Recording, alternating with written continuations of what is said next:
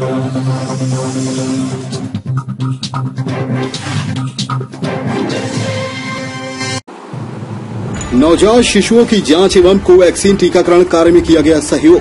आज गाँव थुबोन में पहले सेंटर पर कोवैक्सीन लगवाने में सहयोग किया गया। उसके बाद ग्राम में एच वी एन सी ग्रह भेंट की गई। सविता, पति रविन्द्र पाल के यहाँ शिशु की पहली जाँच की गई। शिशु का वज़न लिया, तापमान लिया। माता से शिशु के बारे में सारी जानकारी ली गई। बच्चे को दिन में कितनी बार दूध पिलाना है? दूध कैसे पिलाना है? इसके बारे में जानकारी दी गई। बच्चे को लेट कर दूध नहीं पिलाना है। बैठ कर ही दूध पिलाना है। लेट कर दूध से बच्चे को खतरा हो सकता है। बच्चे की सांस नली में दूध जाने का डर रहता है। इससे बच्चे की जान भी जा सकती है। साथ में बताया कि छह माह तक सिर्फ़ माँ का दूध पिलाना है और कुछ नहीं देना है। पानी तो बिल्कुल नहीं देना है। माँ शिशु को दूध पिलाती है तो पहले पानी ही आता है। इसलिए छह माह तक दूध के अलावा कुछ नहीं देना है। माता की भी जाँच की गई। पोषण आहार के बारे में बताया गया, साथ में आयरन, कैल्शियम खाने की सलाह दी गई। दिन में तीन बार खाना खाने के बारे में बताया गया, साथ में किशोरी बालिकाओं से भेंट की गई। उनको स्वच्छता के बारे में बताया गया ताकि बालिकाओं को कोई इन्फेक्शन न हो। साथ में आयरन की नीली गोली खाने के लिए ज़ोर दिया गया, ताकि बालिकाओं को खून की कमी नहीं होगी। स्वस्थ रहेंगी। साथ में बच्चों को ओआरएस भी आशा बहन ने वितरण किए, एवं दस्त से लगने पर घोल बनाकर बच्चों को बार बार पिलाना है। साथ में जिंक की गोली चौदह दिन तक खिलाना है। उम्र अनुसार उसके बाद आराम न मिले तो तुरंत डॉक्टर को दिखाना है और साथ में स्तनपान जारी रखना है।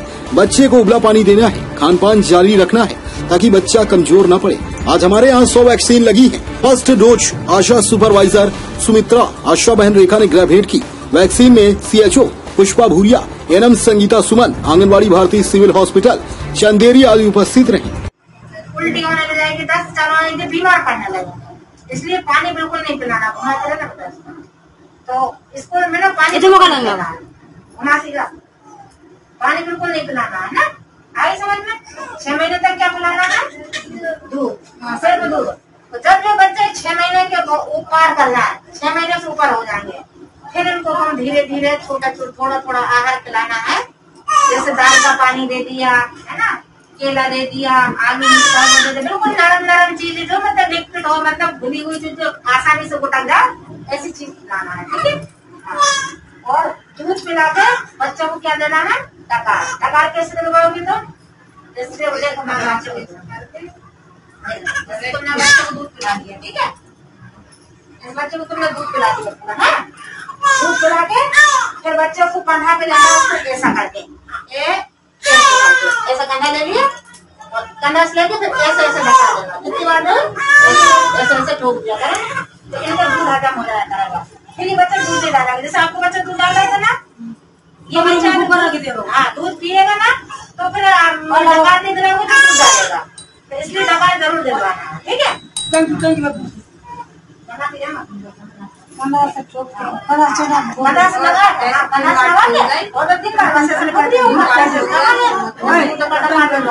है हाँ इसके बाद में ऊपर का दूध बिल्कुल पिलाना है और बच्चा अच्छे से दूध पी रहा है ये पेशाब कितनी बार करता है घड़ी घड़ी करता है ना दिन में कम से कम छह से आठ बार पेशाब कर लेता है हाँ और कोई दिक्कत तो नहीं आ रही इसको लेकिन और कोई परेशानी तो नहीं है इसको है ना और तुम्हें कोई परेशानी है कोई बात की दिक्कत है कितनी ब्लीडिंग आ रही तुम्हारी तो नहीं आ रहा महीना तो नहीं आ रहा बढ़िया है ना आपका कोई दिक्कत तो नहीं है तुम्हें और आयरन कैल्शियम की गोली तो मैं खानी ही है ठीक है आयरन की गोली और कैल्शियम की गोली छह महीने तक खिलाना हाँ, और बढ़िया पोषण आहार अस्पताल से मिल जाएगी और बढ़िया पोषण आहार खाना दाल खाना तुम पालक खाना तुम जैसे भारी जैसे पोषण आहार की जितनी भी चीज़ हो सब खाना ठीक है?